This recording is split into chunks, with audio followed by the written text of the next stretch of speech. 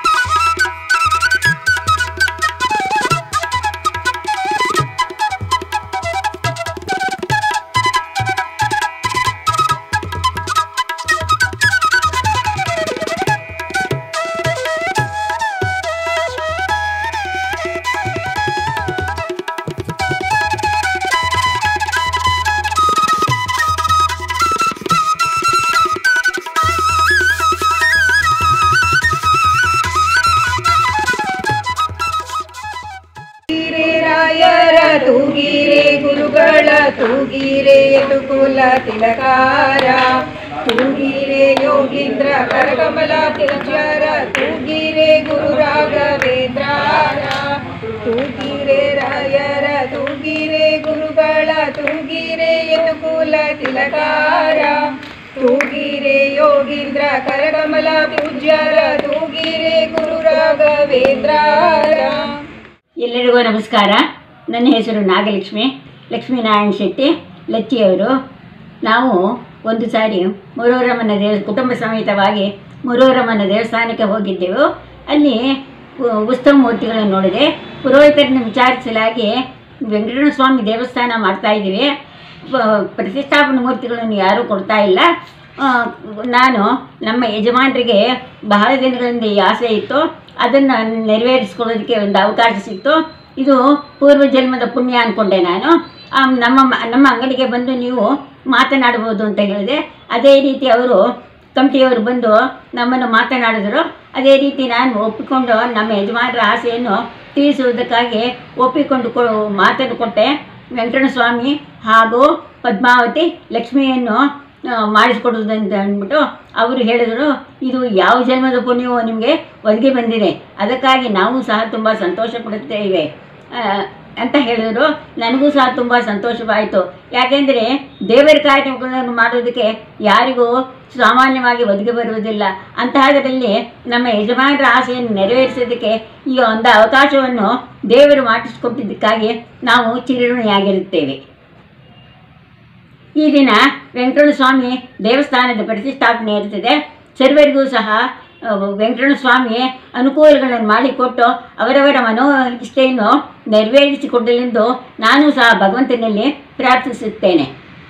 ಹೆಚ್ಚಿನ ವಿಡಿಯೋಗಳಿಗಾಗಿ ಮಿತ್ರರ ಮಿತ್ರ ಚಾನಲನ್ನು ಸಬ್ಸ್ಕ್ರೈಬ್ ಮಾಡಿ ಬೆಲ್ ಐಕಾನ್ ಒತ್ತಿ